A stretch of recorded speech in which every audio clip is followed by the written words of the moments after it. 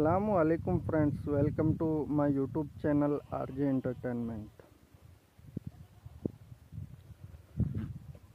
and welcome to R J goat farm R J goat farm and Barkat भाई goat farm R J goat farm सिर्फ़ पलाई का है और बरकत भाई गोड फार्म ट्रेडिंग का है। बरकत भाई गोड फार्म ट्रेडिंग का है, अब्बा संभाल रहे हैं वो। और आरजे गॉड फार्म, जो कि पलाई का है, वो मैं संभालता हूँ, जो सेकंड ब्रांच पे है। बरकत भाई गोड फार्म, जो कि सेकंड ब्रांच थी, वो अभी आरजे गॉड फार्म है। और अल्हम्दुलिल्लाह, ये सब बकरियाँ आप देख रहे हैं। सब बकरियाँ ग्रेजिंग कर रही है, उधर बकरे हैं। ये खुले में छोड़िए, थोड़ा घूम फिर लेंगी। उसके बाद में, बकरियों के बाद में बकरे छोड़ेंगे हम। ऐसे हम रोज़ छोड़ते हैं ताकि घूम फिर ले।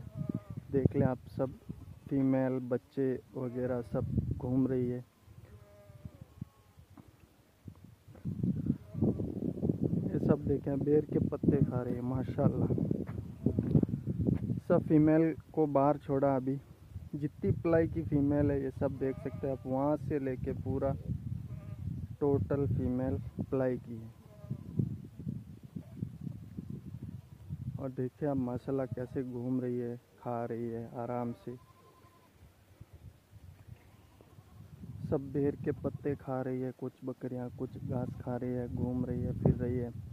आराम से मतलब रोज़ एक एक घंटा दो दो घंटा इनको घुमाते हैं, उसके बाद में वापस बाड़ों के अंदर डाल देते हैं।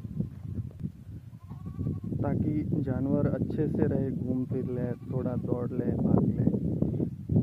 एकदम खुला एरिया है, आप देख सकते हैं, वहाँ तक पूरा ये आर जे गोड फार्म, वहाँ बाड़े बने हुए हैं वो।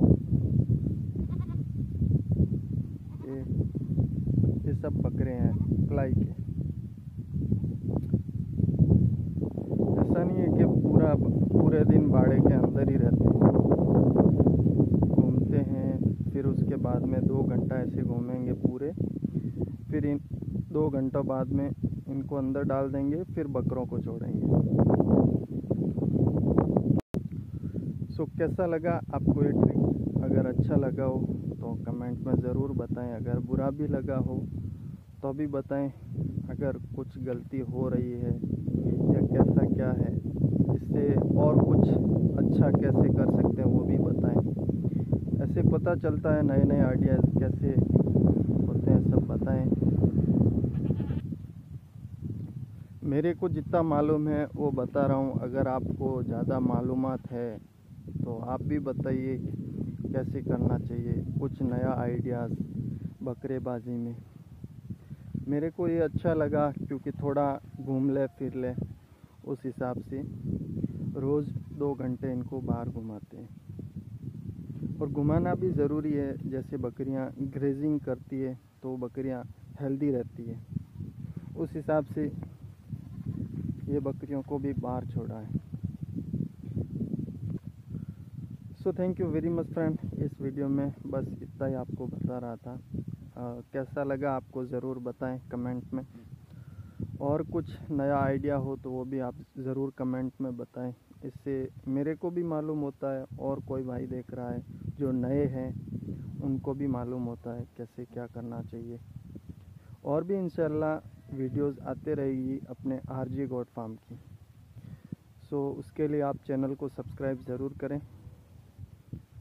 So thank you very much friend अल्लाह हाफिज़।